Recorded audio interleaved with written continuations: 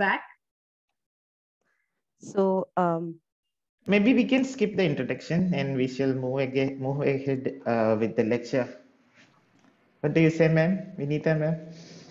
Yes, I, I think that that's a great Uh, idea. Okay. Uh, so, um, my dear friends, colleagues, uh, uh, teachers, uh, students, uh, whoever, the esteemed audience present here, uh, a very warm good afternoon uh, to each one of you. I'm not sure whether it is warm everywhere because we hear news of floods in many parts of North India and the Northeast. Uh, let's hope that they also have uh, a hearth and, and, and something that will keep them warm and sheltered. So, uh, my dear friends, today th- this lecture, um, she would have introduced, but I would do the introduction. So, this lecture is titled Post-Humanism and Moral Imagination, Literature as Panacea. This is the title of this uh, lecture. Post-Humanism and Moral Imagination, Literature as Panacea. I'm sure we are familiar with all the terms that I have mentioned in this title. And of course, I would uh, try to reframe these words, uh, these terms, within the context of this FDP, which is titled Shifting Paradigms in English Literature and English Language Teaching. Now, what interests me most in this title of our FDP is the word shifting. Our FDP is titled Shifting Paradigms in English Literature and English Language Teaching. Shifting Paradigms. Shifting. Of all the synonyms and definitions of the word shifting, I would be focusing on the meaning unstable, as in shifting stance, shifting sense, something that is unfirm, unsteady, loose. What is unsteady? What is unfirm? What is loose um, among the paradigms that we are speaking about? Are we on unstable ground? FDP on shifting paradigms in English literature and ELT. What is what is shifting? What is unstable? My dear friends, I would be happy if I can impress upon you, my dear listeners, some straight thoughts on the need for moral imagination among the academic community to help our species survive in these troubled times. We have heard Matthew Arnold speaking about epochs. He has spoken up, spoken, he has told us about creative and critical epochs. Are we in a cre- creative epoch or a critical epoch right now? What history has taught us and told us is that epochs of intense creativity have followed waves of global devastation and destruction. Epochs of creativity have come after global crises. If that is the case, you know, uh, in, uh, it, the logical corollary would be to assume that we are going through a critical epoch. I would call this a critical epoch. The ideas and ideals of this world, this critical epoch, the ideas, our ideas, our ideals should transmute into raw materials for creativity. Evidently, our belief systems, our pride as a species, as the crown of creation, has been violently shaken up by a small virus first, then by a big war, Russia, Ukraine, then by the flash floods in Assam, now in Gujarat, and violent economic unrest in our neighboring country. What we hear, what is happening in Sri Lanka. But I would say it was after Corona came that we started hearing the word shifting all too often.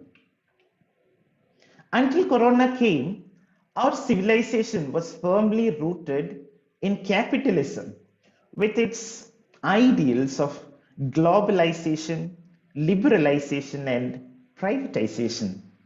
But now, Corona has come, violence has come, war has come, floods have come. Now we need a fresh anchor, a new belief system, a savior. No, I'm not preaching. I will not do a Matthew Arnold. I just want to say it is shifting. Because it is shifting, we might need a fresh anchor.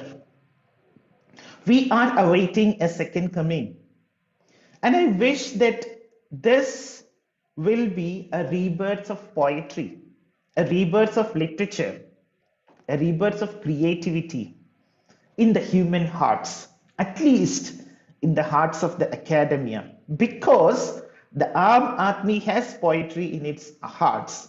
It is, it is from the hearts of the academia that poetry and literature has been driven out. I hope literature will be that, that desperate panacea we are waiting for. There is no question about the power of the written word, the power of literature. It is enormous. I don't want to go into the utilitarian purposes of writing. As a speaker, as a creative writer, my responsibility is to knock my reader down, to keep my listener spellbound, to mesmerize my listener when I say what I say passionate, what I want to say passionately. Like the wedding, like the ancient mariner holding the wedding guest spellbound with his glittering eye, use, I also would love to use my words to hold my audience dancing to my tunes. No, this is not a self praise, and I'm not saying that I am a great rhetorician. That is not the idea. The idea is the power of literature. Literature is persuasion, it is a call to intimate companionship.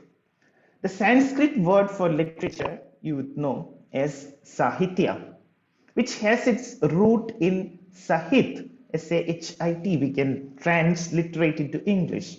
Sahit, Sahit, Sahit, Suhrud, Sahit, companionship. Companionship between whom? Between the reader and the writer, between the speaker and the listener. Sahit. This companionship, this mesmerizing effect, this captivating effect is what we expect our literature to have. Literature has it, but we have we may have to wield it. Now, we I was speaking about the wedding guest in Samuel Taylor Coleridge's The Rime of the Ancient Mariner. There is a beautiful stanza. Since then, an at an uncertain hour, that agony returns.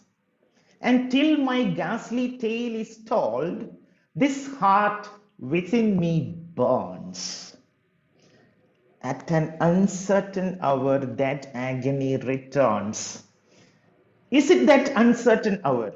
Is this 21st century corona post COVID COVID period that uncertain hour when that agony is returning to our bosoms? And do we have a ghastly tale to tell? Because it burns our hearts.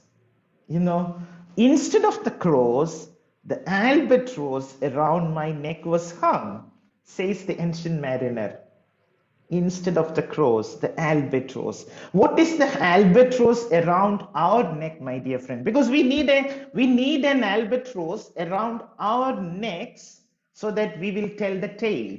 That so that that agony returns What is that albatross about our neck? In terms of philosophy, in terms of literary theory, I would say that the albatross about the neck of the 21st century man is neatly summarized in the idea of posthumanism. Posthumanism is one of the shifts, shifting paradigms in literature and ELT, FDP. One of the shifts is posthumanism. As its name suggests, it, it, it, it is about a shift from humanism to posthumanism. And a defining characteristic of posthumanism would be its rejection of traditional Western humanism.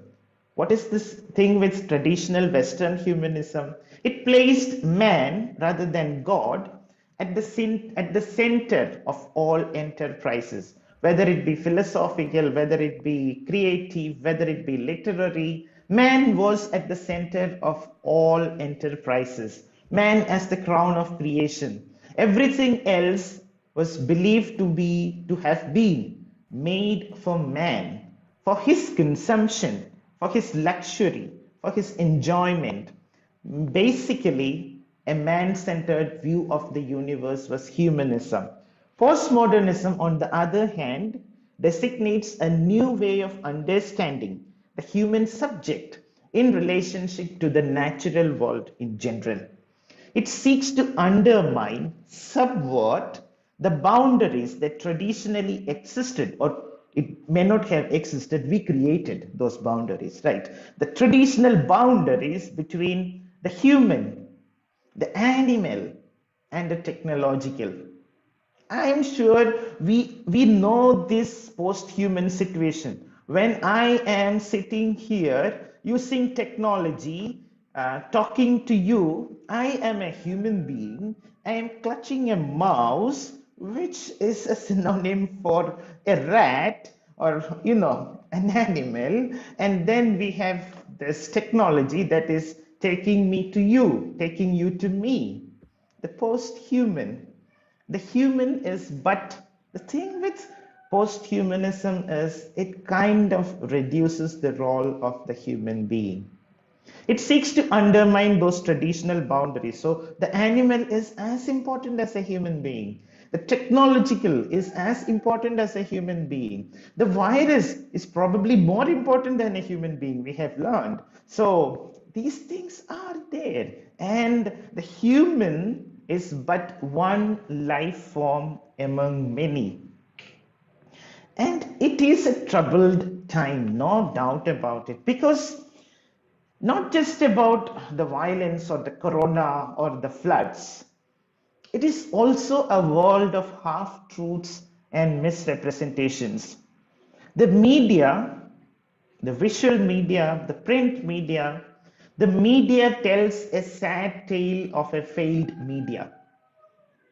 How media should not be is what we see in today's media. And what is the solution? I don't know. People like Hillis Miller would advocate liberal education as a, as a solution to, to the problems that have afflicted our society, our media. And what is liberal education? It provides a greater opportunity for the members of a society to be to become literate, compassionate, and, and remember these words compassionate and thoughtful citizens of the world. So, liberal education, dear friends, the thing that we are doing, the thing that we are expected to do as teachers of languages and literature is to impart liberal education. Liberal education believes that any human crisis can be resolved by man himself without seeking assistance from divine supernatural forces. And I, don't go into the details of liberal education, but I, I, I just want to tell you what it will be without liberal education. You know, without liberal education to teach us how his story, how the history has succeeded or failed in directing the fruits of technology and science to our tribe of humans, Homo sapiens. Without liberal education to teach us how to frame our discussions, without liberal education to teach us how to properly debate the uses and the costs of technology, without liberal education to teach us how to safely debate how to create a more egalitarian, just society with our fellow human beings. Without liberal education, what would eventually happen? Eventually, it would default to the ownership of and misuse by the most influential, the most powerful, and the most feared among us exactly what happened some 60, 70 years ago when Hitler and Mussolini were doing certain things. And this is what we might expect in the near future.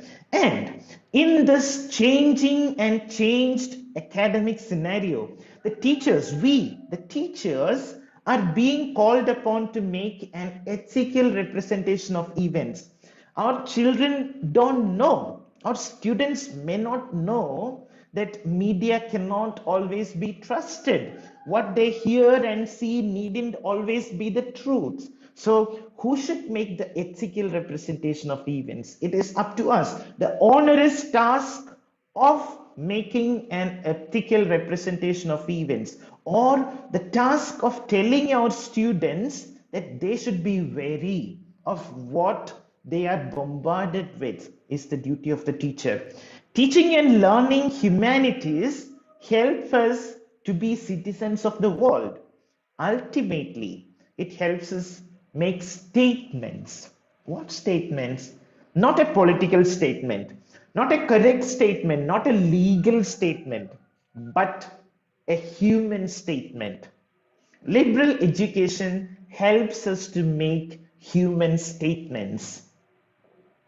And my dear friends, we do not know whether all these things that we have been seeing in the past two and a half years are just a trailer of what is to come. We believe that it's over. But what if it is the trailer, just the trailer? We might live in a totally different, different world. So it is the duty of our educational system and our teachers to prepare our students for the changed world order. For as Khalil Gibran would say, alone and without the nest shall the eagle fly across the sun. Our students are eagles, friends. They have to fly across the sun, but they will be alone we have to prepare them for the changed world order. Now, my lecture is about literature as panacea. I'm sure you're familiar with the word panacea, solution for all, you know, uh, all, uh, all curing, solution for all. How can literature be the panacea? Then what, what exactly is this panacea? Let's take you know, let's briefly take a synoptic look at the word panacea. If there are doctors among us, not doctors of philosophy, because there are many, I mean doctors of medicine. If there are doctors among us, they would know panacea. Why? Not because they offer panacea to people, but because when they said the Hippocratic oath, they mentioned panacea. If you remember the Hippocratic Oath, which we studied in class 9, class 10, it, it says, I swear, calling upon Apollo, the physician, and Aesculapius, Hygeia, and Panacea, and all the gods and goddesses as witnesses, that I will fulfill this oath and this contract according to my ability and judgment. This is how they took the Hippocratic oath. Now remember Hippocrates is useful for us. Panacea is named after the Greek goddess of universal remedy, Panacea herself. She is supposed to be any remedy that is claimed to cure all diseases and prolong life indefinitely. It's also a literary term, panacea, that represents any solution to solve all problems related to a particular issue. Now, my dear friends, I would want you all to involve briefly in this discussion and tell me what do you think would be an ideal antonym for the word panacea. For a moment, let us think about the antonyms of panacea.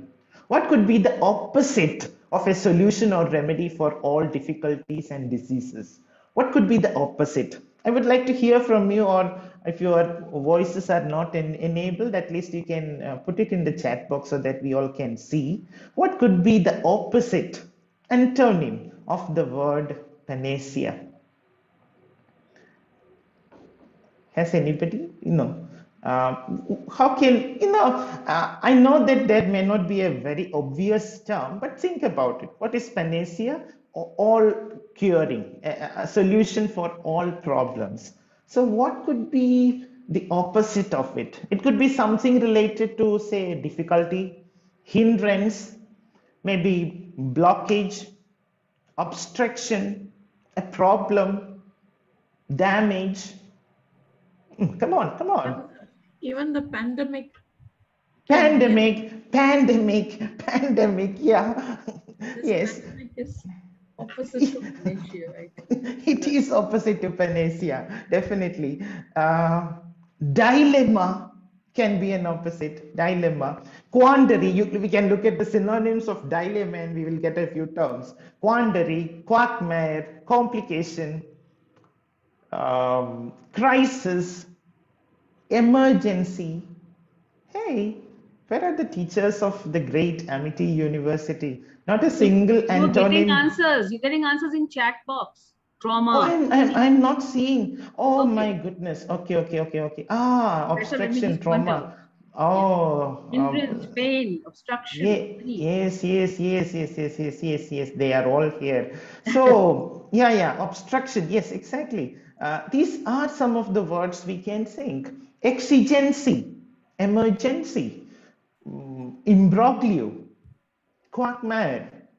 What else?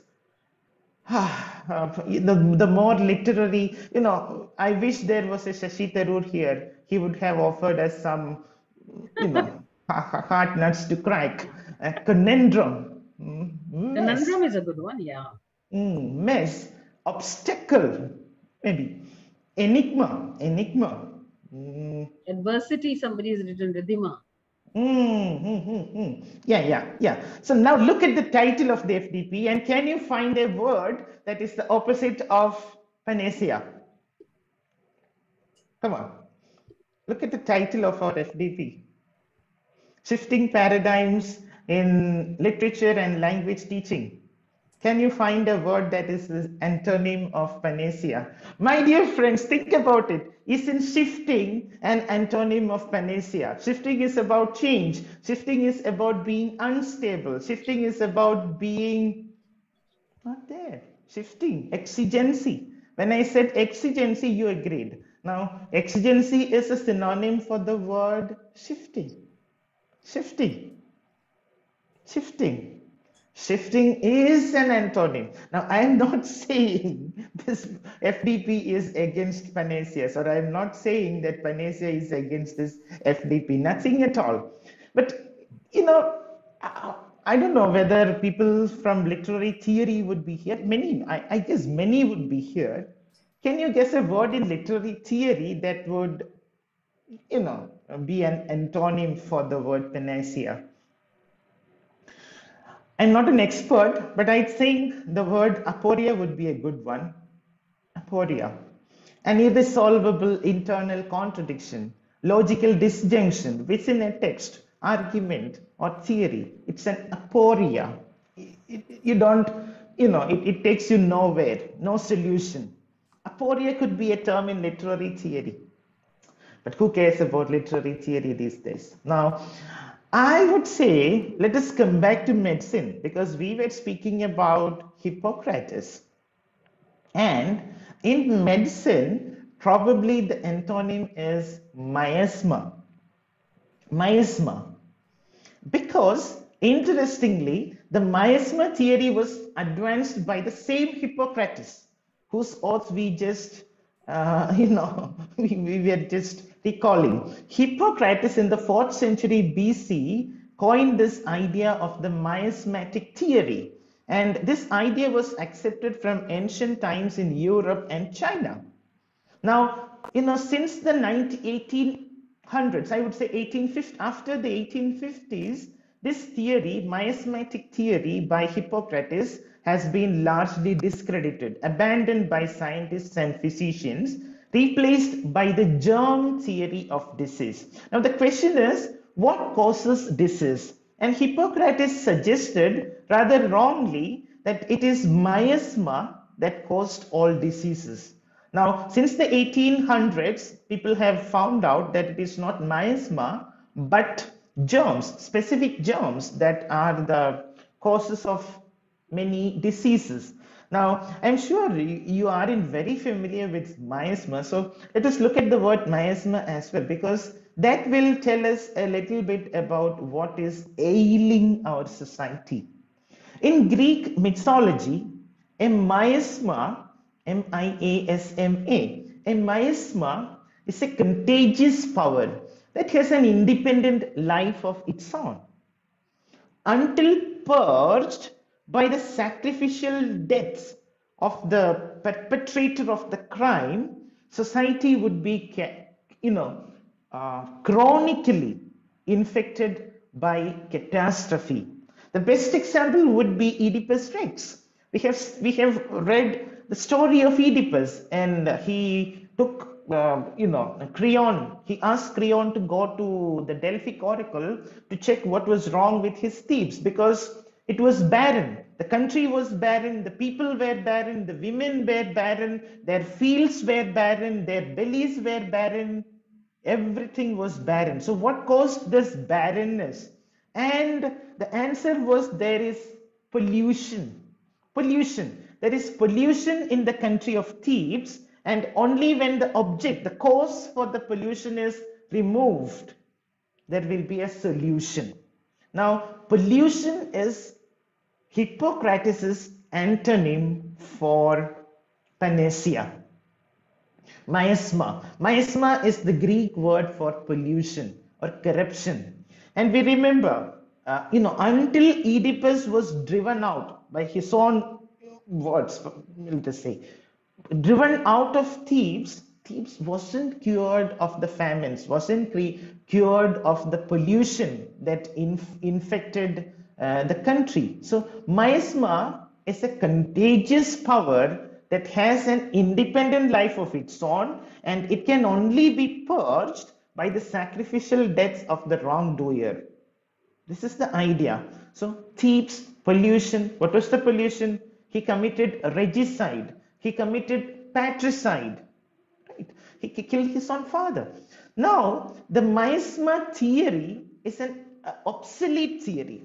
We no longer give any importance to the miasmatic theory, but it held that diseases such as cholera or black death, if uh, had it been uh, present now, they would have spoken about corona also in the same vein. So diseases such as, such as cholera or black death were all caused by a miasma, bad air, also known as night air.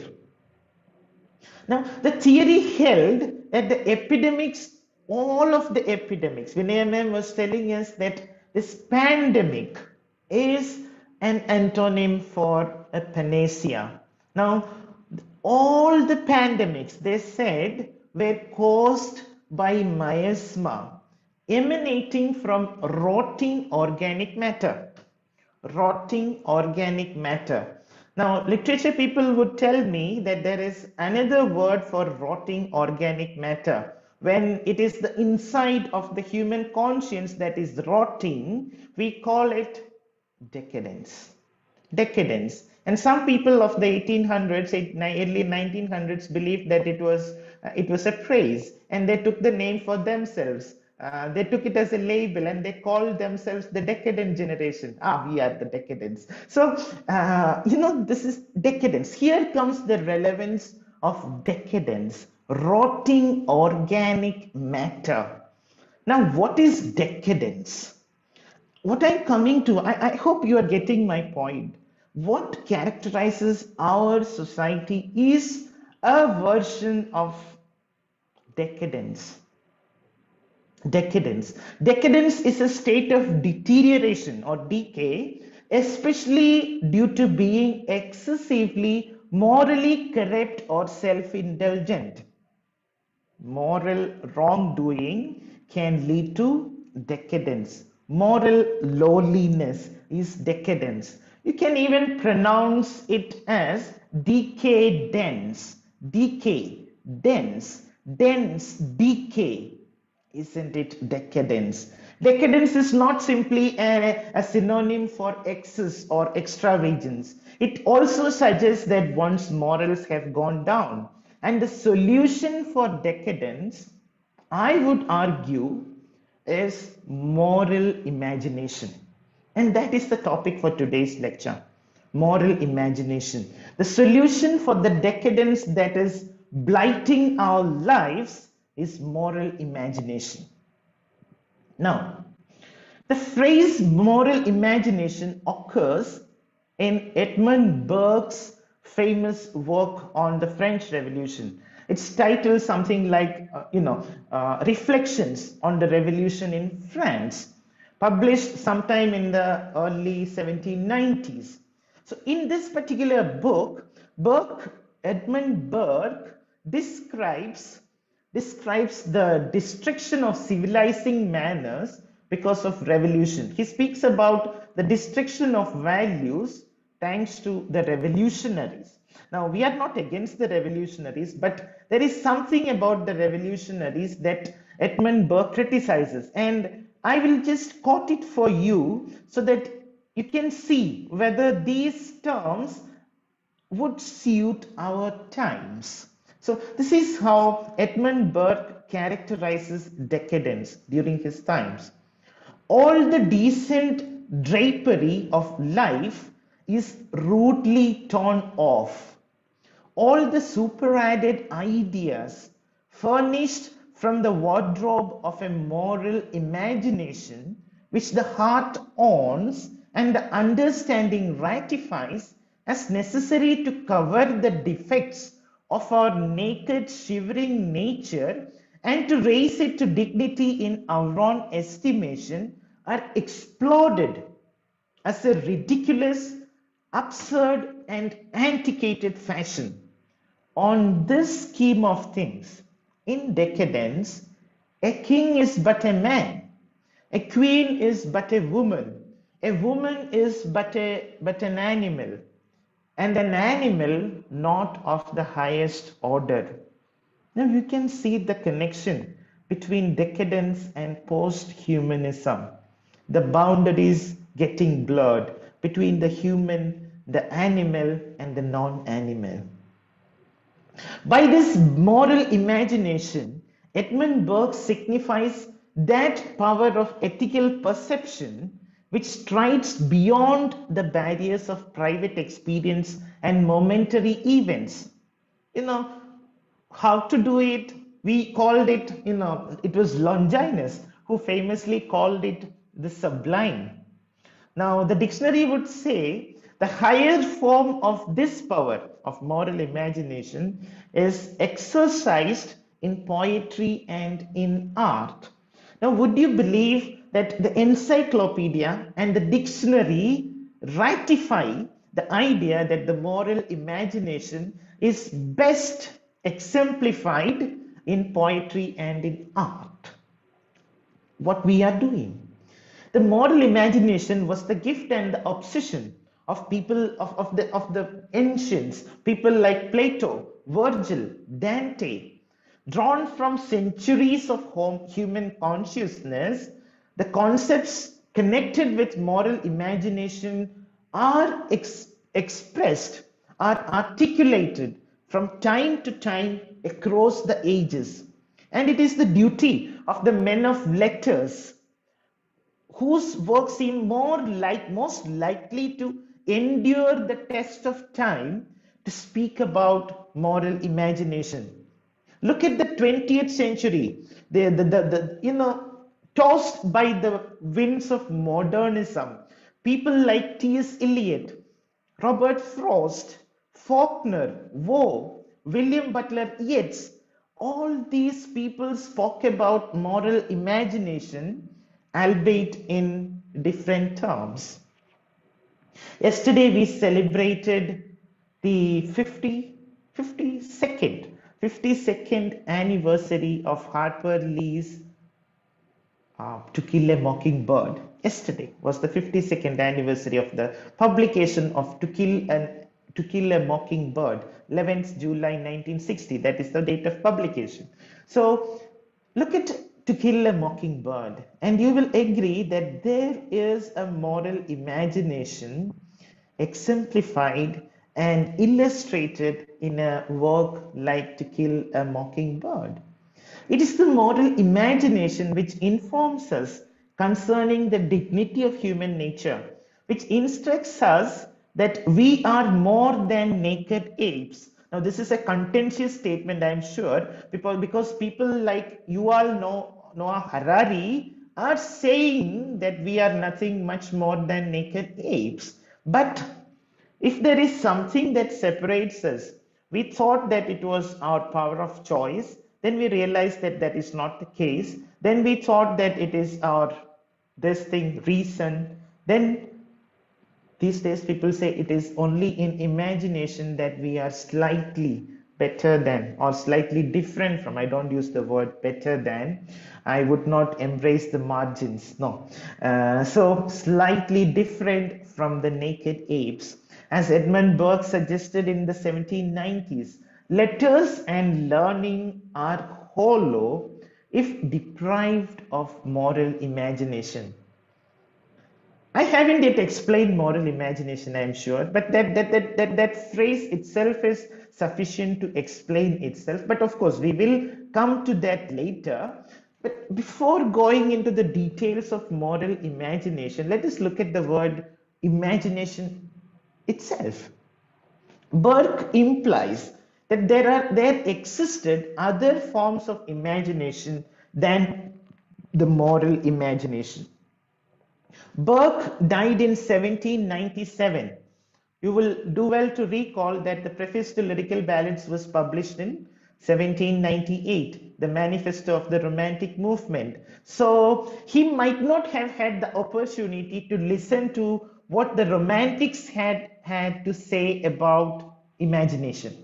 Because the Romantics were the people who spoke extravagantly about imagination. We know what we know. We have the you know benefit of hindsight and so we know what imagination meant to the romantics we have taught we have studied coleridge's famous postulation on fancy and imagination those tough lines that were extremely difficult to explain let alone understand imagination was elevated to a position as the supreme faculty of the human mind this contrasted distinctly with the arguments for the supremacy of reason.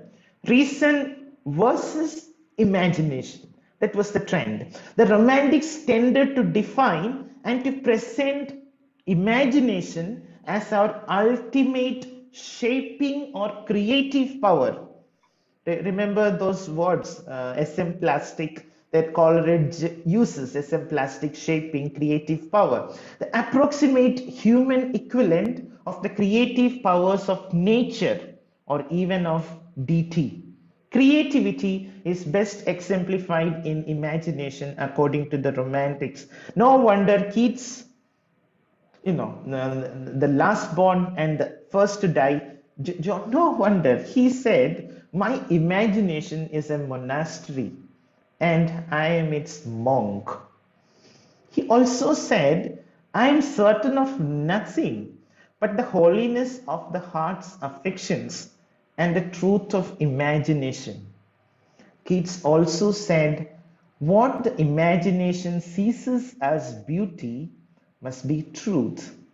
So that was the romantic ideal, romantic conception of the sublime idea of imagination.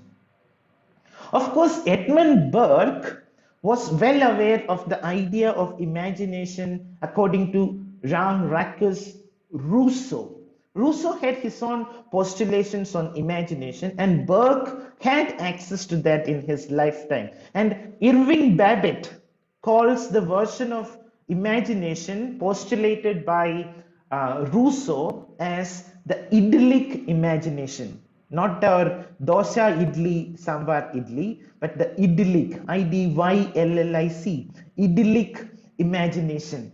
That is the imagination which rejects old dogmas, which rejects old manners and rejoices in the notion of emancipation from duty and convention, liberty, liberty. We saw this idyllic imagination in the 1960s and 1970s. In you know, uh, in the hippie culture, for example, uh, the things that were happening in the United States of America, if you take an instance, young people in America during the 1960s and the 70s, you know, they were living a, a life of idyllic imagination. But I'm not sure whether they read Rousseau, but they lived Rousseau's idea of imagination. The idyllic imagination, the problem with the idyllic imagination, as we saw with those cultures, the 1960s and 70s cultures, what we saw was the idyllic imagination ordinarily terminates in disillusion and boredom, the postmodern condition. Or, or, you know, if you go back the existential condition, disillusion and boredom. And when that occurs, when disillusionment, boredom, ennui, E N N U I, ennui characterizes our existence, too often a third form of imagination manifests itself. So I had spoken about Burke's idea of moral imagination. I had spoken about Keats's and you know the romantics idea of pure imagination. I have also spoken about Ra- Rousseau's idea of idyllic imagination. But when none of these happens, when the idyllic imagination leads to disillusionment and boredom, then a third or fourth form of imagination gains ascendancy. What is it? You know, it is it is there in T.S. Eliot. In his lectures entitled After Strange Gods, after strange gods, not something that came after strange gods, but going after strange gods, probably. After Strange Gods, published 1934. In After Strange Gods, T.S. Eliot touches upon the diabolic imagination. Diabolic imagination, probably the best opposite antonym that you would get for moral imagination. The diabolic imagination. That kind of imagination which delights in the perverse and subhuman. Perverse and subhuman imagination. The diabolic imagination. Eliot finds the fruitful operations of the evil spirit in the writings of Thomas Hardy and D.H. Lawrence. We need not agree. Anyone interested in the moral imagination and in the anti moral imagination, I would recommend please read After Strange Gods by T.S. Eliot. It is at least fulfilling. And we, you know, knowingly or unknowingly, we are also in, in the devil's side, right? We, we also love uh, Satan and the devil. So the diabolic imagination is far more interesting than moral imagination. I vouch. So after Strange Gods by T.S. Eliot, the number of people, he says, the number of people in possession of any criteria for discriminating between good and evil is very small. People who can distinguish between good and bad is very small, says T.S. Eliot. The number of the half alive hungry for any form of spiritual experience or for what offers itself as spiritual experience, high or low, good or bad, is considerable. Yes, some people are interested in spiritual things not because they are spiritual, but because they want to know what it is all about and whether we can make some money out of the spiritual. And Eliot makes a confession. He says, My own generation has not served them well, very well. Never has the printing press been so busy, and never have such varieties of buncombe and false doctrine come from it. Woe, woe it is, like, like a prophet, like a you know, like a powerful, you know, um, T.S. Eliot believed that he was, uh, what was the name of that book? Sacred Wood. So uh, in, in the Sacred Wood, he, he commissions himself as the high priest of poetry, as the greatest, uh, you know, the king of the Rex. Right, that, that is how uh, he characterizes himself. And the Rex, the king of criticism, T.S. Eliot, uh, you know, he makes this proclamation Woe unto the foolish prophets that follow their own spirit and have seen nothing. This is the diabolic imagination. This, the, the, the false prophets who follow their own spirit and have seen nothing, according to T.S. Eliot. This diabolic imagination dominates most of popular literature today. I'm sorry to all the supporters of popular literature.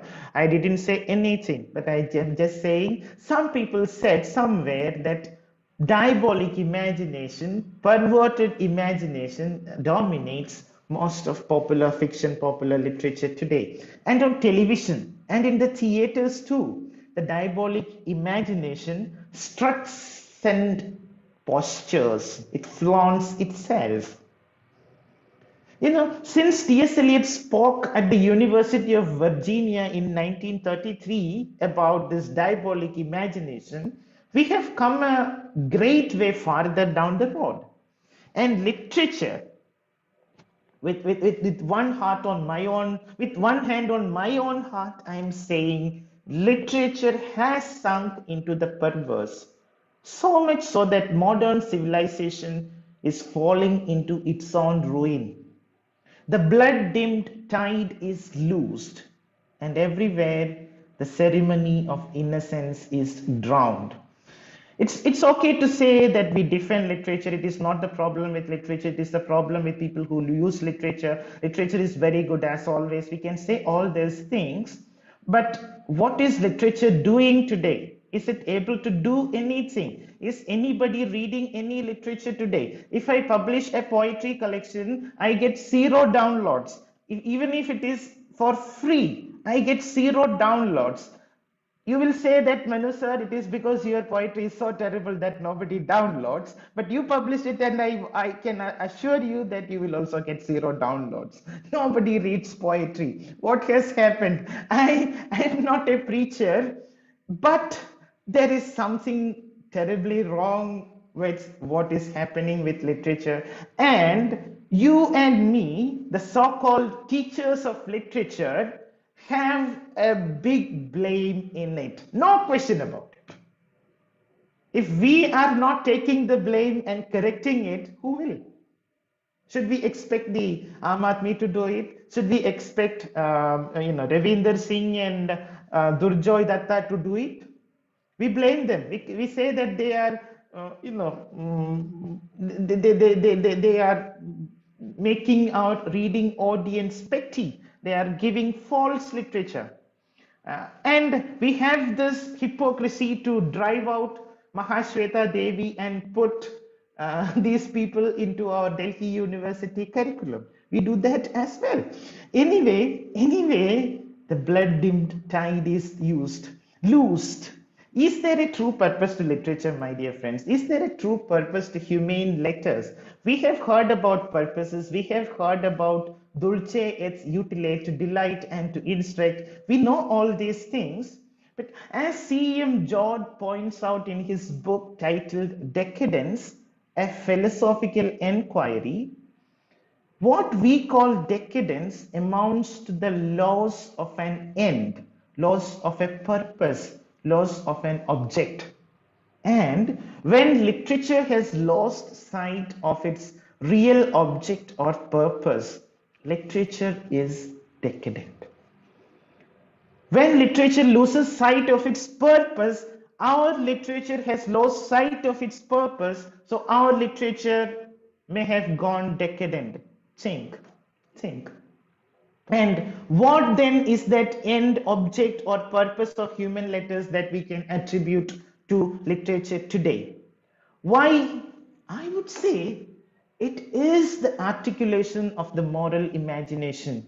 It's my take. You, all of us, all of us here can have their own different takes on how literature should express itself. It's just my personal take that literature, the proper end of literature today at least, should be the expression, the articulation of the moral imagination. Or to put it in a more familiar face, phrase, I would say the end of books is ethical. Now you will say, I am preaching. No, no, you are preaching. To teach us what it means to be genuinely human. Great literature is meant to teach us what it is to be fully human, holding a mirror up to nature. What nature? Do you think that uh, when he said holding a mirror, literature is about holding a mirror up to nature? Did he say about the outside nature, the mountains, the rivers, the valleys? No, he spoke about the inside nature, holding a mirror up to the inside nature, the nature within me, which is it? The human nature. The human nature. Irving Babbitt has written a small book. Students love this book because it is ultimately small, very small book titled Literature and the American College. This is the title, 1908. It's a very small book and you can uh, prescribe it for any uh, student because they would love it. They will not find a smaller uh, book, Irving Babbitt's Literature and Amer um, American College. But this book is lovely. You know, here he speaks about humanism as an ethical discipline intended to develop the truly human person, the qualities of manliness. Please don't confuse it with womanliness, manliness. You know, I'm not into that. It simply means humanliness. Uh, the qualities of manliness through the study of great books. And what it is opposed to, what he is juxtaposing this humanism with, is the literature of nihilism, the literature of pornography, the literature of sensationalism. As Albert Salomon suggests in his book, The Tyranny of Progress, 1955, absolutely beautiful book, The Tyranny of Progress by uh, Sal Sal Salomon, uh, Albert Salomon. He says, this, this is a recent development. This kind of decadence is a recent development arising in the 18th century. Now, recent doesn't mean in, in 1954. He, he, mean, he sees the larger picture and he says arising in the 18th century, though reaching its height in our time. With the decay of the religious views of life and you know I, I don't know uh, whether we should bring religion into it but he says most prominently with the decline of what has been called the great tradition of philosophy now i do not mean that the great writer insistently should write homilies he should preach on the pulpit no with ben jonson he must scourge the naked follies of the time. But he should not murmur like Charles Kingsley. Be good, you know, he is telling his daughter, be good, sweet maid, and let who will be clever. It's, it's, it's a very sad state when Charles Kingsley tells his daughter, This is the only thing I have got to tell you, and he says, Be good until you find somebody clever you know, it, it's painful. It's painful. It's painful because clever is something that is juxtaposed as the antagonist of being good. Rather, the man of letters teaches the norms of our existence through allegory, through analogy, holding a mirror up to nature. The writer may, like William Faulkner. Uh, earlier we saw how William Faulkner was criticized by T.S. Eliot as possessing the diabolic imagination. I wouldn't subscribe to that. The writer may, like William Faulkner, write much more of what is evil than of what is good. But William Faulkner did something else as well, which T.S. Eliot missed. He exhibited the depravity of human nature. He established in his reader's mind the awareness that there exists enduring standards from which we have fallen away. And that fallen human and that fallen nature is, is an ugly sight. Faulkner has said this too, which T.S. Eliot sorely missed. The better the artist, one more, you know, we can say, the better the artist, the more subtle will be the preacher. So if I sound like a preacher, I have failed as a rhetorician. If I sound like a rhetorician, I have succeeded as an artist because the preacher is there who is silently telling you the things without, uh, you know, manifesting itself or himself. Imaginative persuasion, not blunt exhortation, commonly is the method of the genius. Right? Imaginative persuasion without blunt exhortation. That is what that not not exhortation uh, exhortation not blunt exhortation that is what we need and if a public will have the moral imagination then it will first fall you know. Let us see what will happen if a public does not have a moral imagination. If it doesn't have a moral imagination first it will fall into it it will have probably hopefully the pure imagination of the romantics. And then it will fall slightly into the idyllic imagination that looks at the freedom that looks at the liberty and then if that also doesn't provide it provide the masses the satiety that it craves for then it might descend into the diabolic imagination. This last one becoming a state of narcosis figuratively and literally. My dear friends do we react? This is the question the ultimate question is do we react to what we see around us? Yesterday I, I, I was listening to the news and they said india is closing its borders so that the sri lankans who are escaping from sri lanka will not enter our shores. Now are the sri lankans rats in our homes that we are trying to catch them and block them? My dear friends aren't they human beings yes it is all fine. There are boundaries. There is the national thing everything. But where is the human thing? What can the poor sri lankan do? Why didn't i cry when floods ravished the homes and farms of the assamese? It is in the northeast. It is in the northeast somewhere far. Not my problem not my problem. Is it my way of looking at things?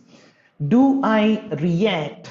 Do I at least respond empathetically? Do I do that? Can I do that? A human body that cannot react is a corpse. Now think about it. A human body that cannot react is a corpse. Am I a corpse? Are you a corpse? And a body of letters, you and me, we who claim that we are the, the you know we are the watchword. We are the harbingers of civilization. We are the holders the you know the, the great successors of ts eliot and william wordsworth. Are we able to react against certain things? Are we reacting? A body of letters that cannot react against narcotic illusions, I would say it must better be buried. Because you are corpse. I am corpse. If I am not reacting, I am a corpse. And I should not be allowed to rot because it will cause further decadence. it will cause fumes of miasma, pollution. So I must be buried. You must be buried if you are not reacting, if you are not responding. This is what Thomas Laqueur, the American historian, sexologist, writer, said when he defined moral imagination. To be a citizen of the world, we ought to have a moral imagination.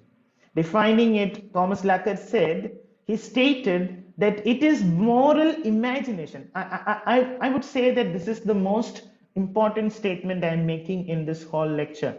Moral imagination, according to Thomas Laqueur, is something that allows us to regard the suffering of distant humans as making the same sort of claim on us as the suffering of proximate ones. This is his definition. Moral imagination allows us to regard the suffering of distant humans as making the same sort of claim on us as the suffering of proximate ones. Yes, when my near and dear suffers, I will be feeling the pangs of, you know. But what when an American suffers? What when a Ukrainian suffers? What when an Assamese person suffers? Does it create that same pang in my inside? The suffering of distant humans must make the same sort of claim on us as the suffering of our near and dear ones. This is more moral imagination. I'm sure you would say that this is some sort of empathy. Yes, we are all familiar with empathy. But are you familiar with the person who popularized the word empathy? Or I would say the person who coined the word empathy. It's, I think it, it's a historical justice that the person who coined empathy is a woman. A person, the person who coined empathy is a woman.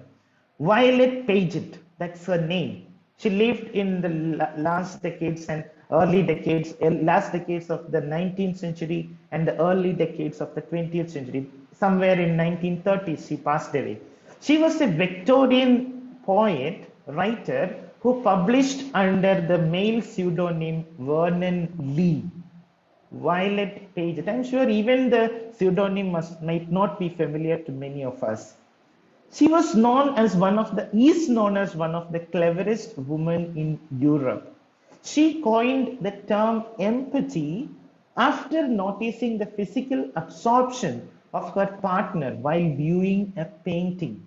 She said her partner was in feeling within double quotes, in feeling with the painting. This is empathy. To describe this embodied process of appreciating the arts, Lee translated the German term Einfühlung into English, and that is empathy for us. Lee's ideas resonate powerfully with the increasing interest today in how empathy is connected to creativity, literature as panacea. Experiencing and enhancing creativity is one of the ways we can understand ourselves and others, body, mind. The poetic 19th century term for, now this is the most interesting thing, the poetic 19th century term for empathy uh, is known as moral imagination. Poetically, empathy is known as moral imagination. And this is what Thomas Laqueur uh, was saying. And, and, and, and to imagine, when you imagine, imagination, to imagine is to form a mental image, to think, to believe, to dream, to picture. It is both idea and ideal. In a world of increasing global conflict, imagination cannot be more overstated. Imagination is extremely important. I would say, you know, I, I would use the phrase that William Wordsworth uses intimations of immortality from recollections of early childhood. To have those intimations of immortality, our world needs a moral imagination. Think about Shelley. Shelley spoke about moral imagination. The great instrument of moral good is the imagination, said Shelley, right? In his defense of poetry. In his defense of poetry, is it? Yeah, Shelley wrote defense of poetry. Um, somebody else wrote apology. So this is defense of poetry. So Shelley, in his defense of poetry, said the great instrument of moral good is imagination. He continues something like this A man to be greatly good must imagine intensely and comprehensively. He must put himself in the place of many others. What is it? Empathy, right? The great instrument of moral good is imagination. He continues, the great secret of morals is love. Now, my dear friends, this is the 200th death anniversary year of Shelley, and we are hearing about Shelley everywhere. He passed away in 1822. 1822. Uh, he drowned, right? Uh, so Shelley is considered a rebel angel. He is considered a rebellious person. But my dear friends, he was considered uh, to be an atheist. There was a lot of there, there were a lot of controversies surrounding Percy Bysshe Shelley. But he said something very beautiful when he speaks about uh, moral imagination. A man to be greatly good, but he must imagine intensely and comprehensively. The great secret of morals is love, or a going out of our own nature, being someone else, and an identification of ourselves with the beautiful which exists in thought, action, or person not our own. Identifying ourselves with beauty, this is what uh, Shelley says. To be greatly good, we must imagine. Now, how can we identify ourselves with the beautiful which exists in thought, action, or person not our own? I think Lord Krishna in his Bhagavad Gita gives a beautiful explanation. He tells Arjuna in the Bhagavad Gita, whatsoever uh, I, am, I am the beauty of all beautiful things Whatsoever is beautiful issues forth from a fragment of my splendor. This is how I can roughly translate the Sanskrit version.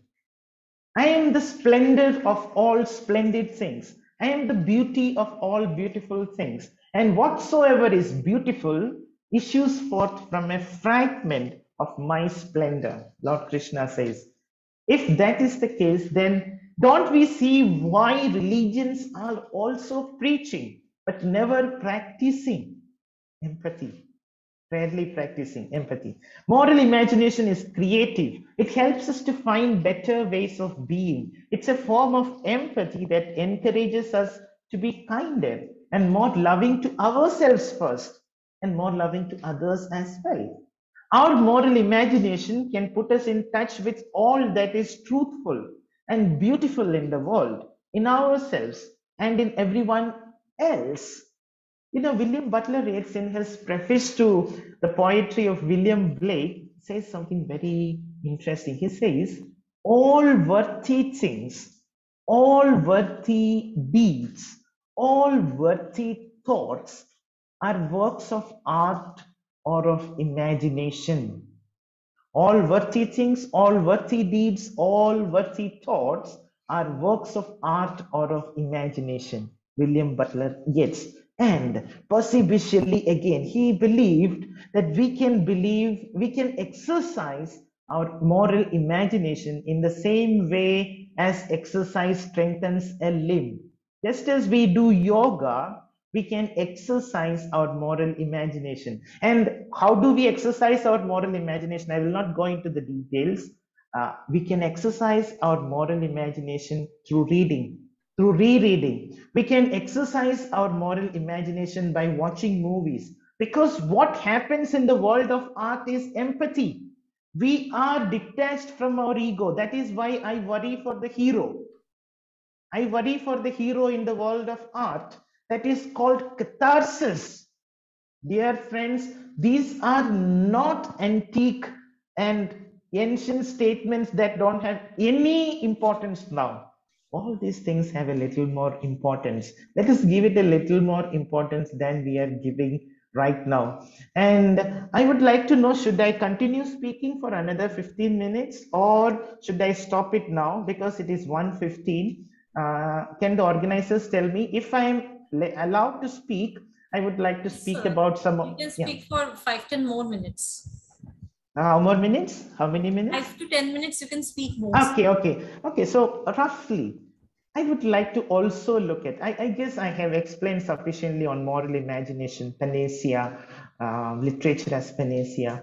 So what are the shifting paradigms that our lecture, our workshop is looking at? I will just say a few things. One, the digital divide is one of those shifting paradigms. Those who are tech savvy and those who access have access to technological gadgets will do well, while the traditional, the classroom oriented got to the background. A clear shift, second one, a clear shift in platform from offline. Yesterday, uh, we had a lecture on the same topic, uh, a platforms shifting from offline, real time to online, anytime and less dependency on the teachers at the colleges. I believe that the teachers are going to become more and more less redundant, more and more redundant. I think teachers are becoming redundant. In the long run, the end of living and the beginning of survival has already begun for us teachers. The traditional teacher, yes, we have already made him or her a facilitator, both literally and metaphorically but remember friends we are all our lectures are recorded now this on top of our meeting we can find a box recording all our lectures are getting recorded. Now do you really think that if we do not have a moral imagination our managements would really want us to be in the campus to teach the students? They would want our lectures. They would play these lectures in good amphitheaters and then they will tell us tata bye bye uh, all your service was very nice now you can sit at home and play with your kids because you had applied for leaves many times now you can have a permanent leave this can happen this can happen who knows uh, Dr. Jayati Bhattacharya and Dr. Vinaya Kumari, who knows, they all are going to stay at home soon after conducting all these FDPs online. Who knows? The traditional teacher, the end, I believe that it is also a beginning of the end of the institutionalization of teaching. I will be a teacher. I don't say all teachers will be jobless. I will be a teacher but I will not be attached to any institution. I will be a traveling teacher. Uh, if I am good at one particular topic, I will teach that topic all over the country, wherever I can reach. There will only be experts, and students will choose whom they want to teach them. And students have all these lectures on YouTube, my dear friends. All of us are on YouTube, and we think that's a good advertisement. I tell you, this is an advertisement but the one that they post after you are dead. An advertisement funeral this time. That is the advertisement that we have posted in all youtube channels called our lectures. We are becoming redundant. The institutionalization and centralization of education might be over forever and a paradigm shift in the attitude of the teacher and the student is happening is a must it becomes a necessity for survival and quality, adaptability will become the new watchwords because if you enhance quality, it can never go out of demand. The norms of publication, participation, all these norms are changing. The workload of the teacher is increasing day by day. I would say that now the teacher is only expected to preach this moral imagination because all that knowledge is out, out there on the internet. And good professors see i'm speaking about moral imagination. Now if you can search on youtube you, you will find 10 different professors with greater eloquence speaking about moral imagination. So what is the use of this me speaking about moral imagination? I am redundant see these things are happening and, and bound to happen and i seriously believe that government is going to withdraw from education our government. Education will cease to be a fundamental right guaranteed by the Constitution. Think about it. The sprouting and flourishing of private institutions, private agencies will quickly adapt to the market requirements. Vocational courses, STEM subjects, death of the human as the teacher, the birth of technology as the new teacher and the new savior. And probably we have to go interdisciplinary. The new national educational policy, you know, dwells at length on the need to be interdisciplinary. It expects all departments in our country to be interdisciplinary by 2040 AD. Are we ready? Go interdisciplinary. Now, how are we trying to be interdisciplinary? Probably by not probably by converting humanities into sciences. No, that is not the way. Interdisciplinarity should mean a broadening of horizons. It should never mean converting arts into science, as Northrop Frye would, would did with his archetypal criticism. They're turning literature scientific. It's a big mistake. And uh, with more technology and science infiltrating into the teaching learning process like never before, outcome based education will become the norm if it hasn't already. UGC is asking for outcomes. They want numbers when it comes to preparing the AQAR NAAC reports.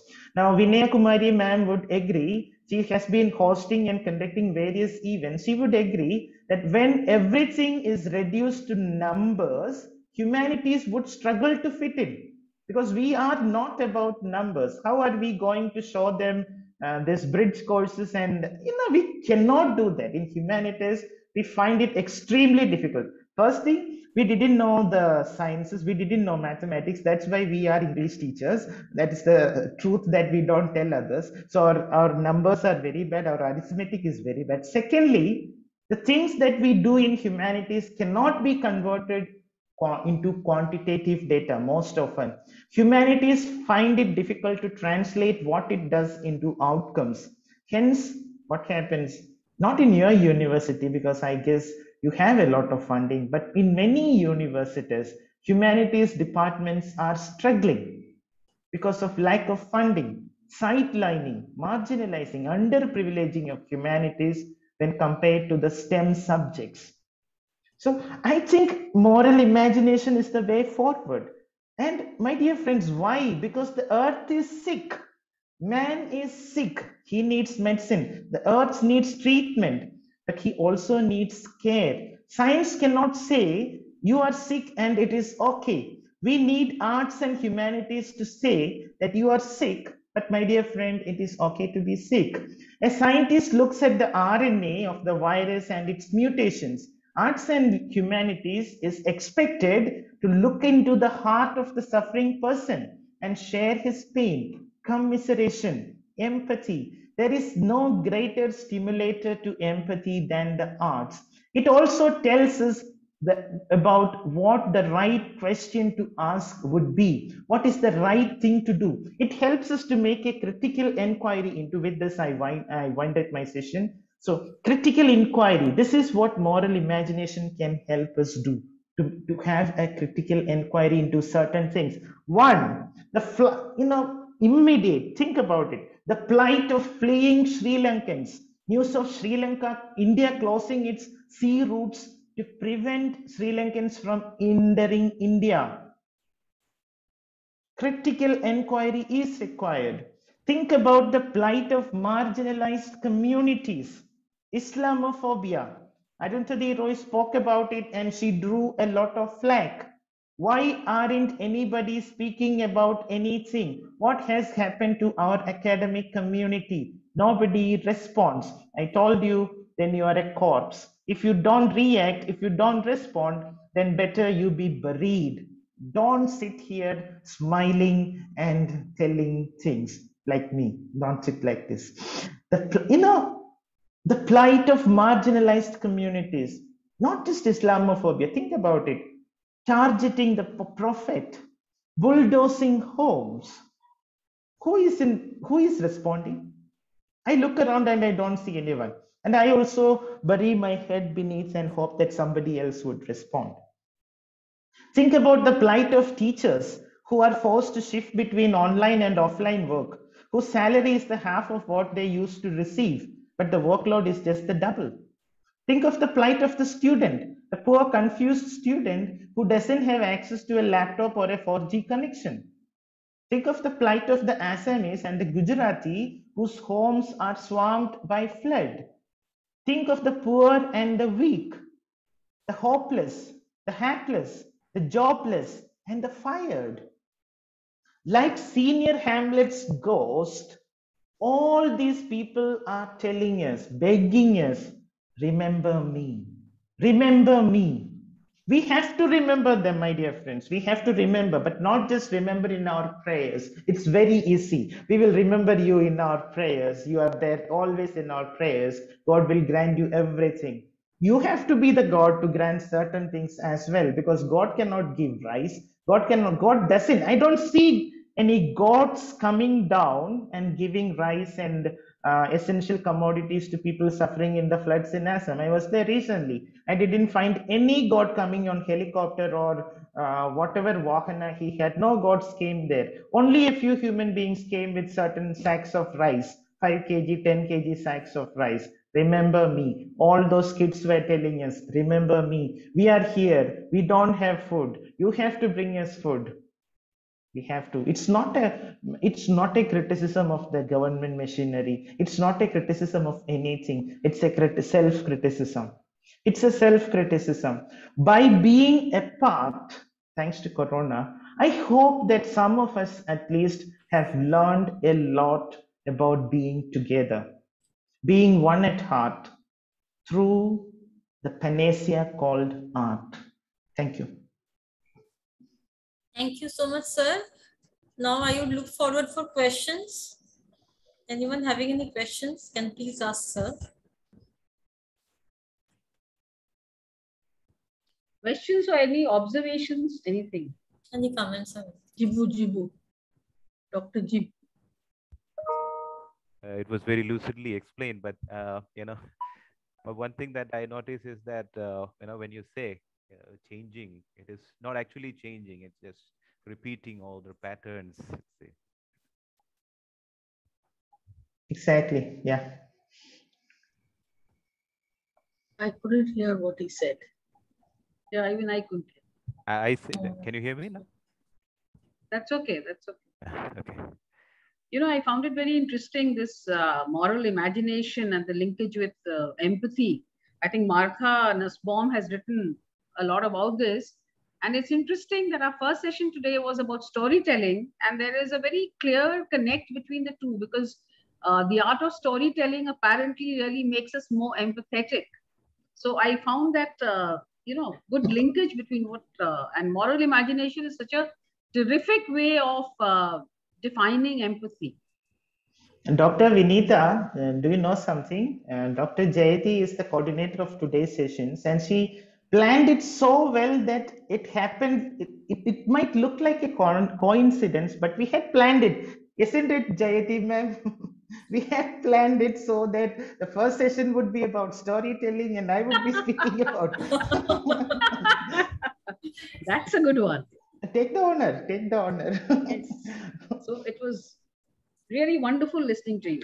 Wonderful. Thank you. Thank you, ma'am. and the, towards the end he also said that uh, we should uh, pay heed i mean listen to the stories that they tell i am hungry please feed me you know the stories that we often often miss because when we say storytelling it is uh, stories of maybe ramayana or mahabharata or you know different stories uh, those those cliche terms. But there are stories that we tell through our lives. There are different stories different types of stories that we tell you know, and I, I think that is also one uh, you know linkage that i could see Yeah, this idea of telling stories is very much important, and that's where I saw this idea of uh, senior Hamlets remember me. And I think everywhere, when I go to a library, for example, when I go to a library, the books I read are telling me, remember me.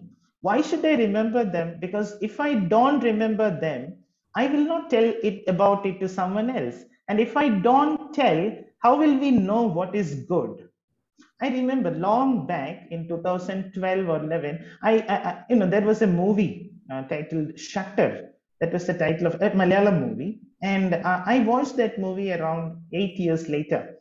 I watched that movie and I absolutely enjoyed the movie so much so that I wanted to call its director, Mr. Joy Mathew, and to speak to him. So I called him and fortunately the call got connected and I called him and I told him that, sir, this was an amazing movie. I, I, I, I am really fascinated by the way in which you have all those things I said.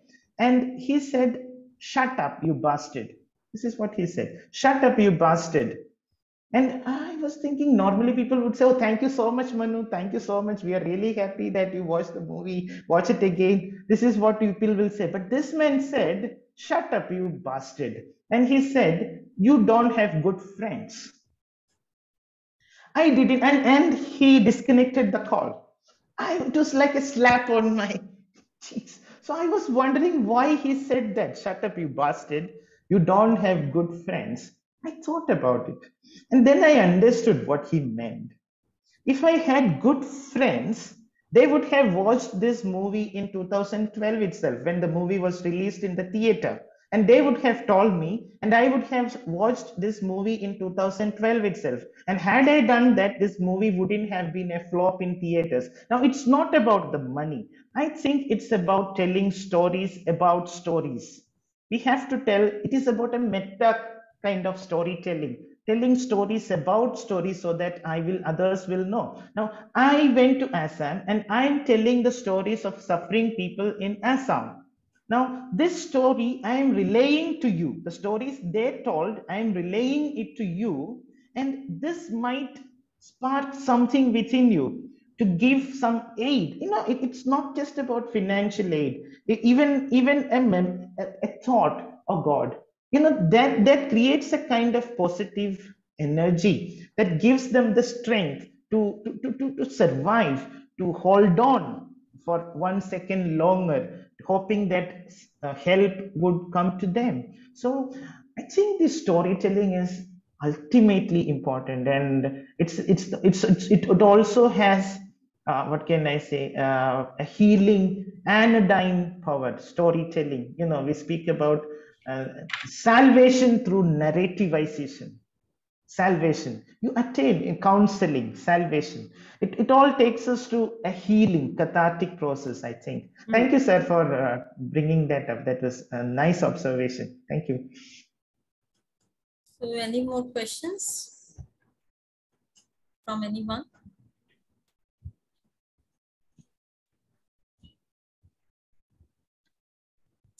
If not, then we will proceed for the next session. But as of now, there will be a lunch break.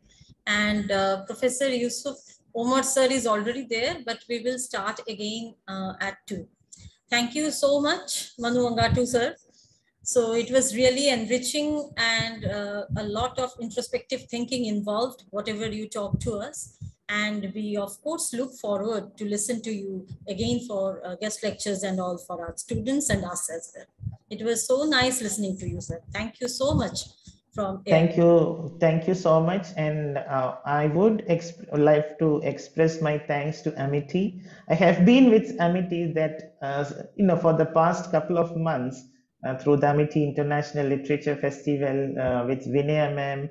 So that I, I, didn't feel it necessary to thank each one or I, to say things like I'm really honored and privileged to be here because I feel at home at Amity and That's thanks. Nice. Uh, so nice. That's really very nice of you. I remember I listened to your uh, speech, your session in the International Literature Festival also, where you dwelt at length on amity and the word. And I was so very impressed that I had a quick discussion with Vinaya. So thanks once again. Jayati has already expressed thanks on our collective behalves. And we definitely look forward to a very fruitful and uh, rewarding experience with you in the future as well.